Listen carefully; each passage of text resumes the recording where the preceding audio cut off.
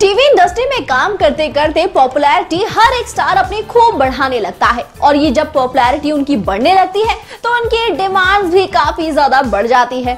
अपने सीरियल में positive, negative दोनों करेक्टर प्ले करते हुए दिखाई देते हैं, लेकिन कौन जानता है कि रियल लाइफ में भी काफ़ी बार ये नेगेटिव हो जाते हैं और अपनी ही करियर का नुकसान करवा बैठते हैं। आज अपनी इस रिपोर्ट में हम आपको बताने वाले हैं उन टीवी इंडस्ट्री के स्टार्स के बारे में, जो कि शो से बाहर निकाले गए।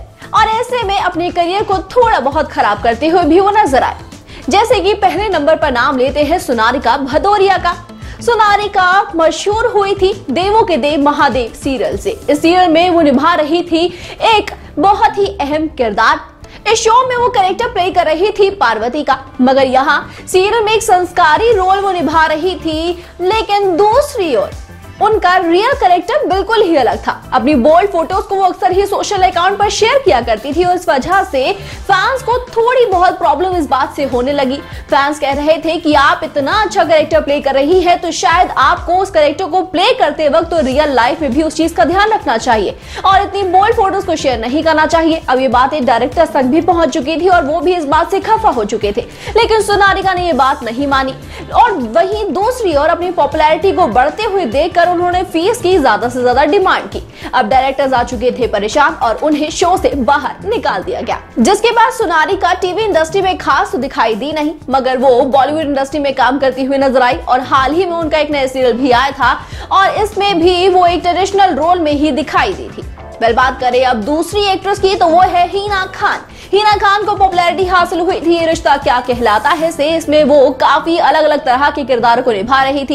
एक माँ, एक बेटी, एक सासू माँ के किरदार में भी वो दिखाई जा रही थी। अब ऐसे में इन करेक्टर्स को प्ले करके हीना खान बिल्कुल थक चुकी थी और वो चाहती थी कि करेक्टर में एक नयापन आ जाए। लेकिन डायरेक्टर एसेसन बिल्कुल भी नहीं चाहते थे, जिस वजह से हीना ने कह दिया कि ठीक है, लेकिन आप मेरी फ़ीस तो कम से कम बढ़ा सकते हैं, लेकिन ऐसा भी नहीं हुआ।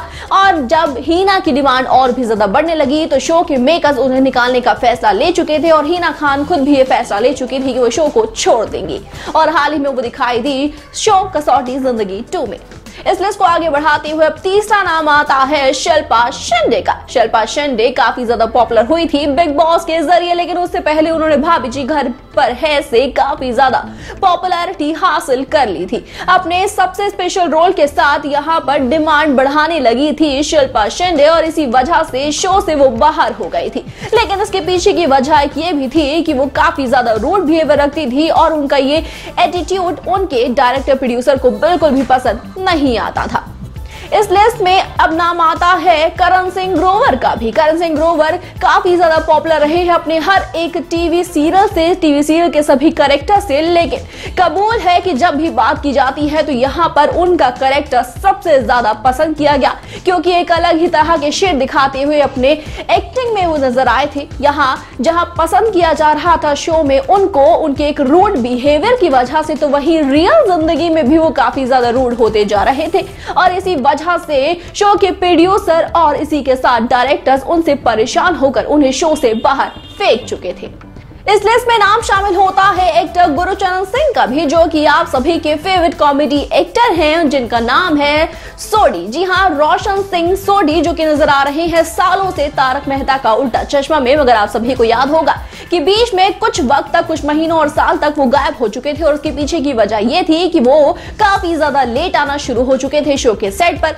सभी उनसे परेशान थे, इस वजह को लेकर शूटिंग में प्रॉब्लम आने लगी थी तो वही इसी वजह से उन्हें शो से बाहर करने का फैसला लिया जा चुका था और ऐसे में वो अपनी फ़ीस को बढ़ाने की जहाँ कोशिश कर रहे थे तो वहीं उन्हें शो से बाहर कर दिया गया, लेकिन कुछ वक्त बाद फिर से वो शो में वापस आ ही गए। इस लिस्ट को अंत करते हुए अब आखिरी नाम सामने आता है जिया मनिक का। जिया मनिक नज़र आई थी साथ निभाना साथिया शो से। गोपी बहू के किरदार में हर एक घर में वो पॉपुलर हो गई थी। हर कोई चाहता था ये कि हर किसी घर में इसी तरह की बहू अब आ जाए।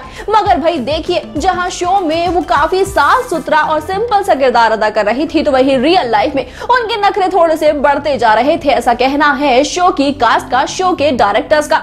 और ये वो कहते हैं कि जिया काफ़ी ज़्यादा रूड बिहेवियर रखने लगी थी क्योंकि उनके डिमांड्स कंप्लीट नहीं हो रही थी, जो कि फ़ीस को बढ़ाने की थी। और ऐसे में वो ये चाहती थी कि फ़ीस को अगर नहीं बढ़ाया जाए तो उन्हें शो से निकाल दिया जाए। ऐसे में उनकी धमकियाँ काम नहीं आई और उन्होंने शो से छोड़ने का ही फैसला ले लिया।